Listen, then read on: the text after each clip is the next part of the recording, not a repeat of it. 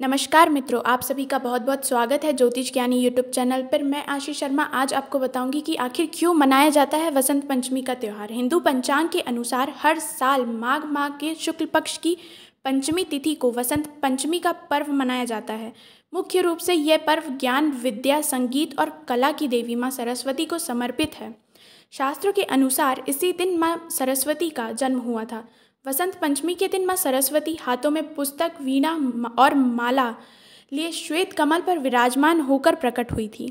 इसीलिए इस दिन माँ सरस्वती की पूजा की जाती है। वसंत पंचमी में से वसंत ऋतु का शुरुआत होती है। सनातन धर्म में माँ सरस्वती की उपासना का विशेष महत्व बताया गया है, क्योंकि यह ज्ञान की देवी है। मान्यता है कि वसंत पंचमी के दिन माँ सरस्वती की पूजा करने से माँ लक्ष्मी और माँ काली का भी आशीर्वाद प्राप्त होता है। पंचांग के अनुसार माघ शुक्ल पंचमी 25 जनवरी 2023 की दोपहर बारह बजकर चौंतीस मिनट से होगी और 26 जनवरी 2023 को सुबह दस बजकर अट्ठाईस मिनट पर समाप्त होगी।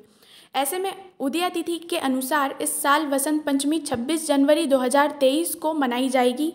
वसंत पंचमी के दिन को श्री पंचमी और सरस्वती पूजा के नाम से भी जाना जाता है। इस दिन माँ सरस्वती की पूजा अर्चना की जाती है। माँ सरस्वती को ज्ञान, संगीत, कला और विज्ञान और शिल्प कला की देवी माना जाता है। यह दिन विद्या आरंभ और अक्षर अभ्यासम के लिए भी काफ़ी शुभ माना जाता है। इसलिए आज के दिन माता पिता अपने बच्चों को माता सरस्वती के आशीर्वाद के साथ विद्या आरंभ कराते हैं।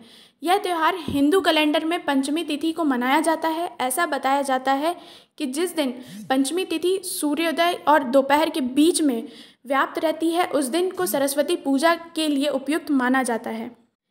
इसे वसंत की शुरुआत के रूप में मनाया जाता है। यही आपको बता दें कि हिंदू पंचांग के अनुसार ये त्यौहार हर साल माघ मास शुक्ल पक्ष की पंचमी तिथि को मनाया जाता है। इस त्यौहार का किसान के लिए काफ़ी महत्व बताया जाता है। वसंत पंचमी के दिन सरसों के खेत लहराते हैं। वसंत ऋतु के आने से पेड़, पौधे, फल, फूल खिलने लगते हैं और कई जगह पर इन दिन पतंगबाजी भी की जाती है। पंजाब क्षेत्र में इसे वसंत के पाँचवें दिन पतंग उड़ाकर मनाया जाता है। इस दिन देवी सरस्वती की पूजा की जाती है। हिंदू धर्म में माँ सरस्वती को विद्या की देवी कहा जाता है। अतः सभी पढ़ने वाले विद्यार्थी माँ सरस्वती की पूजा अर्चना करते हैं। वसंत पंचमी को माँ सरस्वती का जन्म दिवस भी कहा जाता है। इसके लिए इसे माँ सरस्वती को जन्मदिन के उपलक्ष्य में मनाया जाता है। इसके पीछे एक छोटी सी कहानी है। हिंदू धर्म की मान्यताओं के अनुसार जब ब्रह्मा जी ने सृष्टि की रचना की थी, तब हर तरफ़ शांति और व्याप्त ही थी। कहीं कोई ध्वनि नहीं सुनाई पड़ रही थी। उस समय भगवान विष्णु की आज्ञा से ब्रह्मा जी ने अपने कमंडल से जल लेकर धरती पर छिड़का, जिससे एक अद्भुत शक्ति एवं चतुर्भुज हाथों वाली नारी का अवतार हुआ। जिनके हाथों में वीणा माला, पुस्तक इत्यादि थी।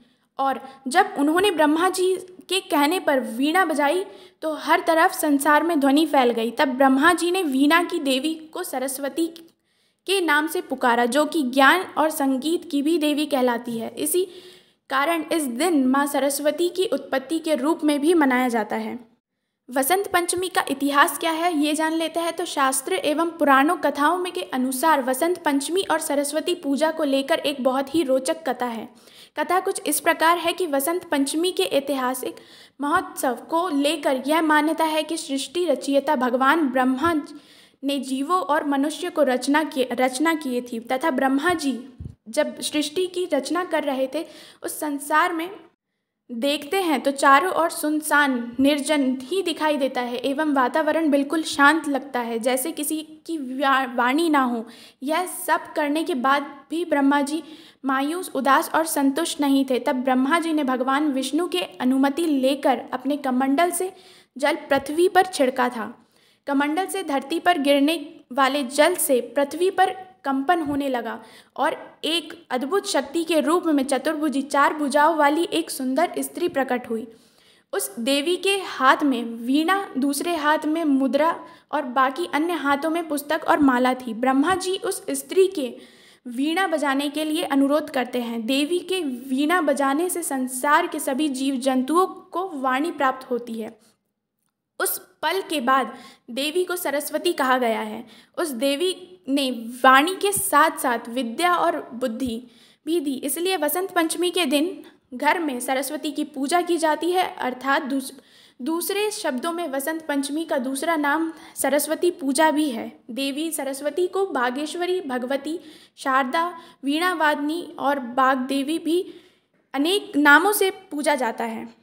वसंत पंचमी को लेकर एक पौराणिक कथा भी है। वसंत पंचमी को लेकर एक पौराणिक कथा इस तरीके से है कि कवि कालिदास ने से भी जुड़ी है। ऐसा कहा जाता है कि कालिदास जी, उनकी जब पत्नी उनको त्याग कर चली गई थी, तब दुखी होकर वे नदी में डूबकर आत्महत्या करने के विचार करने लगे थे। वे ऐसा करने ही जा रहे थे, तभी देवी सरस्वती नदी से जल से बाहर आई और कालिदास को उसमें स्नान करने के लिए कहा। इसके बाद में कालिदास का जीवन बदल गया और वे महाज्ञानी हो गए। अगर आपको वसंत पंचमी की ये जानकारी पसंद आई हो तो वीडियो को लाइक, शेयर, सब्सक्राइब, कमेंट अवश्य करिए। जन्म कुंडली बनवाना चाहते हैं या अपने कोई भी समस्या का समाधान पाना चाहते हैं तो नीचे दिए गए नंबर पर हमें संपर्क कर सकते हैं। धन्यवाद।